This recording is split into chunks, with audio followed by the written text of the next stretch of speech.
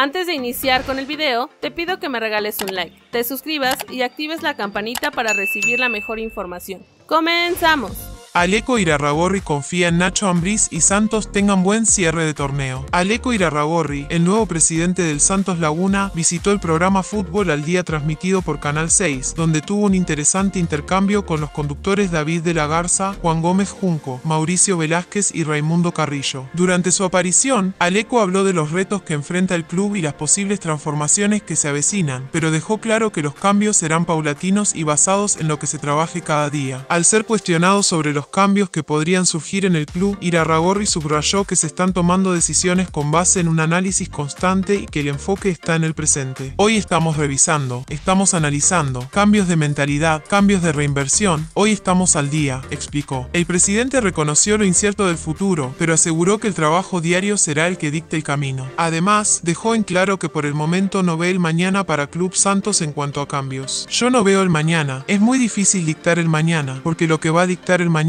es lo que hagamos hoy, entonces los cambios vendrán cuando se tengan que dar, afirmó. Uno de los temas más importantes en la conversación fue la dirección técnica del equipo. Aleco dejó entrever que, a pesar de los desafíos recientes, el club tiene plena confianza en Nacho Ambriz, actual técnico de Santos Laguna. Irarragorri mencionó que espera que Ambriz pueda reinventarse y lograr un cierre de torneo diferente. Te puedo decir que hay mucha confianza en el plantel y mucha confianza en el cuerpo técnico, afirmó. Por otro lado, Carlos Acevedo destapa y sorprende sorprende con su sueño fuera de las canchas. El portero de Santos Laguna, Carlos Acevedo, reveló en una entrevista su gusto por el doblaje latino, una pasión que le produce querer participar alguna vez en ese trabajo y dar voz a personajes destacados de la pantalla. A mí me encanta ver el doblaje en español por los actores de doblaje. Mario Castañeda de Goku, Lalo Garza, muchísimos actores que hacen voces. A mí me llama mucho la atención, entonces yo me pongo en mi casa con un micrófono. Mi mamá me dice, estás loco, pues si estoy loco, pero me gusta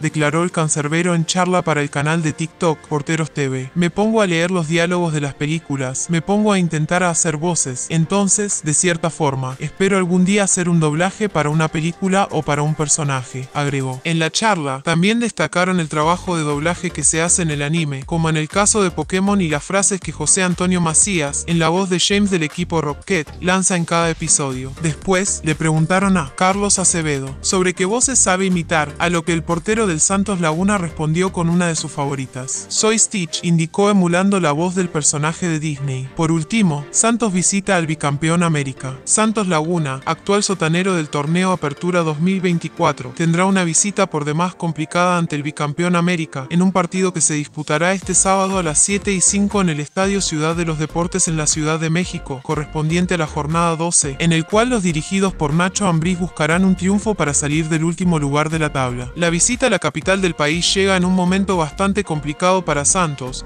ya que los malos resultados lo tienen como el peor equipo actualmente de la Liga MX lo cual llevó a los altos mandos del grupo Orleji, propietario del club lagunero, a quitar a Dante Elizalde como presidente y darle la bienvenida a Aleco Irarragorri, iniciando una nueva era en la que se tiene el objetivo de regresar la identidad ganadora a los guerreros. Este compromiso será una verdadera prueba de fuego para Santos, ya que además de enfrentar a un América que cuenta con un plantel lleno de buenos jugadores, tendrá que ir contra los malos resultados que ha sacado en esta apertura como visitante, sumando un punto de 18 posibles, con un récord de un empate y cinco derrotas. Para las Águilas, se presenta una gran oportunidad de sumar tres puntos en casa y mantenerse en la pelea por estar en zona de play-in por el momento, ya que enfrentarán al rival más débil del torneo y en apariencia será un partido a modo para quedarse con la victoria.